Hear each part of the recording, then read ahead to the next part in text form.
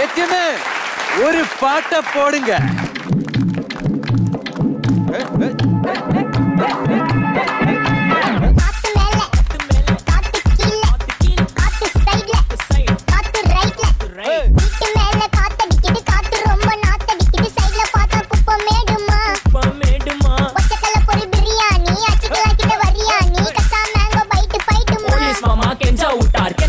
என்ன நிக்க வச்சு ஒரு நோட்டு புக்ல என்ன போட சொன்னா சைன் ரெண்டு மணி நேரம் சும்மா நிக்க வச்சு விட்டு போச்சு முட்டி செத்து போச்சு.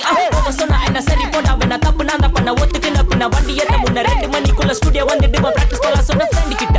எக்ஸ்பிளைன் பண்ண போலீஸ் என்ன? குடிச்சிட்டான் ரெண்டு மணி நேரம் நிக்க வச்சு ஃபைனை போட்டு என்ன ஆமா அறுத்துட்டான். அதனால லேட் ஆச்சு ப்ரோ ஓடி வந்ததால் வாங்குது மூச்சு ப்ரோ பாடியில ஸ்கிராட்ச் ப்ரோ ஹெல்மெட் போடலன்னு கொடுத்த ரெசிபி இதுதான் என்னோட சாட்சி ப்ரோ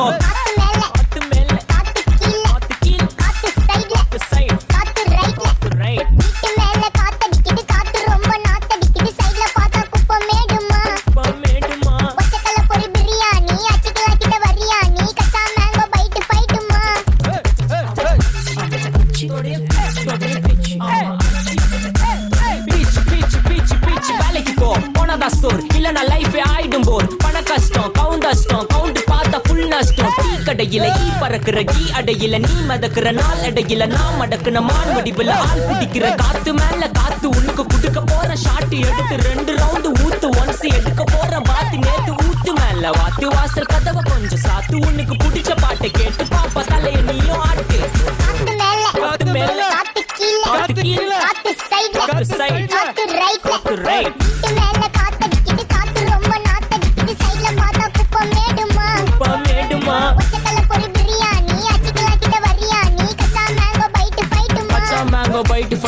ஃபைட்டு நைட்டு மட்டும் போடல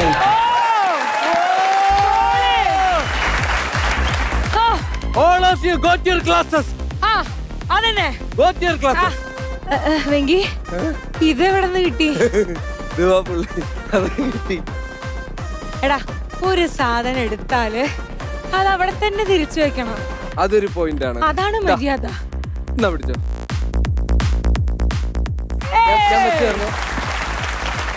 അല്ല അതൊന്ന് വച്ചേ. ഇനി നടന്നു.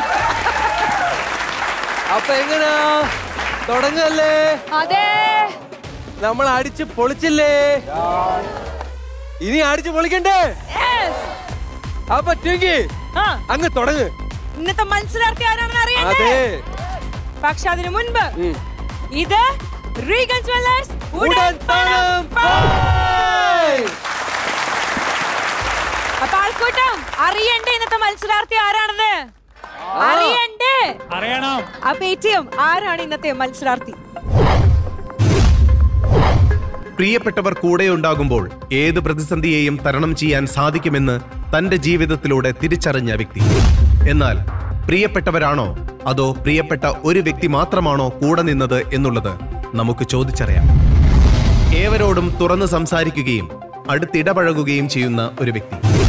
അതേ രീതിയിൽ തന്നെ തന്റെ കുടുംബത്തിലുള്ള എല്ലാവരും വരണം എന്ന് വിശ്വസിച്ച് അതിനായി പരിശ്രമിച്ചു. ചില കാലഘട്ടത്തിൽ ചില തീരുമാനങ്ങൾ നമ്മളെ സംഘർഷത്തിലേക്ക് നയിക്കുമെങ്കിലും പിന്നീട് അതൊരു സൗഭാഗ്യമായി മാറാനുള്ള സാഹചര്യവും ഉണ്ട്. അതിനൊരു തെളിവാണ് ഈ വ്യക്തിയുടെ ജീവിതം. ജനിച്ചത് ഒരു സ്ഥലത്ത് പഠിച്ചത് മറ്റൊരു സ്ഥലത്ത് ജീവിക്കുന്നത് വേറെ ഒരു സ്ഥലത്ത്. നടന്ന യാത്രകളിൽ കാൽവെച്ച വഴികളിൽ മാറിമറിയുന്ന ഒരു ചരിത്രമുണ്ട് ഈ വ്യക്തിക്ക്. പുരാതന ചുവർചിത്രങ്ങളുടെയും ചരിത്ര സ്മാരകങ്ങളുടെയും നാടായ വയനാട് നോർത്ത് കൽപ്പറ്റ നിവാസി സരോജ ദേവ്.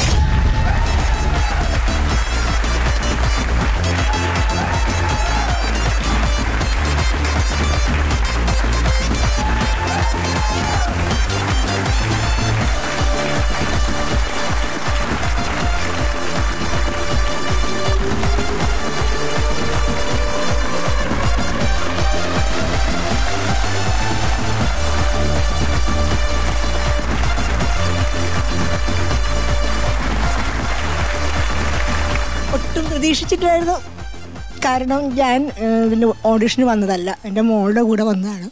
അപ്പൊ അവൾ പറഞ്ഞ അമ്മ വെറുതെ ഇരിക്കില്ല അമ്മ ഒന്ന് പേര് കൊടുത്തേക്കുന്നത് അങ്ങനെ വന്നതാണ് കേട്ടോ സുന്ദരി കുട്ടി. ഈ സുന്ദരിക്കുട്ടീനെ ഞാനൊന്ന് കെട്ടിപ്പിടിച്ചോട്ടെ?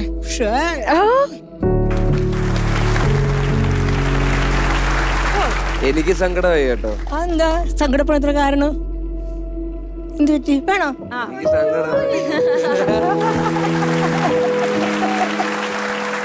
ഞങ്ങൾ വയനാട്ടുകാരെ നല്ല ആദിത്യമനുള്ള ആൾക്കാരെ. ഒരിക്കലും ഞങ്ങൾ ആരും സങ്കടപ്പെടുത്താറില്ല. ആ, അങ്ങനെയാണ്. അപ്പൊ ദേ ഞങ്ങളിത് രണ്ടുപേരും തിരിച്ചാ കെട്ടിപ്പിടുത്തം നൽകുന്നു. അപ്പൊ ഇവിടെ ആരൊക്കെ വന്നിട്ടുള്ളതൊന്ന് പരിചയപ്പെടുത്തിക്കേ സരോജമ്മ? എന്റെ മകളുടെ ഹസ്ബൻഡാണ് എന്റെ മകൻ തന്നെ. ആടി എന്താണ് മകന്റെ പേര്? ജോൺസൺ എന്നാണ് പേര്. സിമിന്റെ സ്ട്രീറ്റ് ബിസിനസ് ചെയ്യുന്നു. Wife Anna. ഒരു മകളുണ്ട്.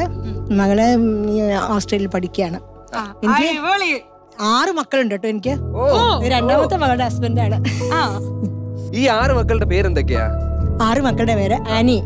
പേര് നീട്ടി പറഞ്ഞോട്ടെ? പറഞ്ഞോ പറഞ്ഞോ പറഞ്ഞോ. Annie Rukma Austin. ആ വരുന്നേ വരുന്നേ ഉള്ളൂ ആയിട്ടില്ല. Anna Grace Austin.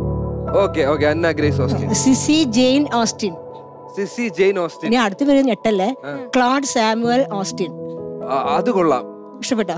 കിടിലം കിടിലം. കിട്ടില്ലല്ലേ അടുത്തത് Ann Mary Austin Ann Mary Austin John Abraham Austin ആറ് മക്കളാണ്. ആറ് മക്കൾ! അതുകൂടാതെ അവർ എല്ലാം കല്യാണം കഴിഞ്ഞു. എട്ട് കൊച്ചുമക്കളുണ്ട്.